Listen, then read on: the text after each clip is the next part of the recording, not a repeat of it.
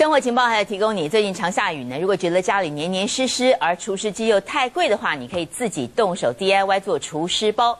到这个化工材料行买一个这个俗称固态水玻璃的细晶，装在沙袋、棉袋里面来除湿，自己做呢，一包不要十块钱。在吸饱水分之后，它变成粉红色，拿去晒太阳，又能够继续使用，省钱又环保。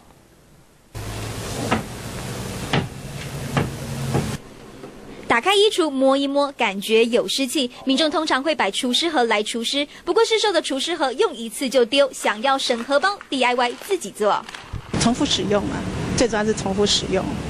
觉得省钱啊，又环保，现在时机那么差。DIY 除湿包原料蓝色小颗粒就是俗称固态水玻璃的细晶，化工材料行都买得到，再把它分装到沙袋、麻布袋里，挂到家里的各个角落。固态的水玻璃呢，里面含有氯化亚钴，它可以当做一个指示剂，所以当它吸饱水的时候，它会从蓝色的变成粉红色的。这个时候，我们可以经过加热的方式，让它重新再还原使用。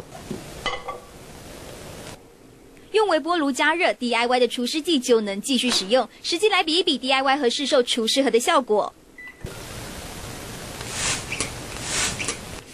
同样喷水五次，静置五分钟，固态水玻璃吸收水分，慢慢变粉红色。市售的除湿盒的氯化钙一遇水，立刻变得湿湿黏黏，除湿效果比较好。这个氯化钙呢，它总吸水量会比较大，所以它整个盘子到最后会整个是水。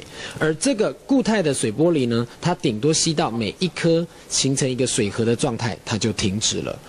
虽然市面上卖的氯化钙除湿盒效果快，每盒二十五到五十元，但只能用一次。而买固态水玻璃自己做比较省钱，一包十元有涨，还能加热重复使用。什么都涨的年代，想省荷包不妨动手做做看。中天新闻唐一成、邵瑞敏台北采访报道。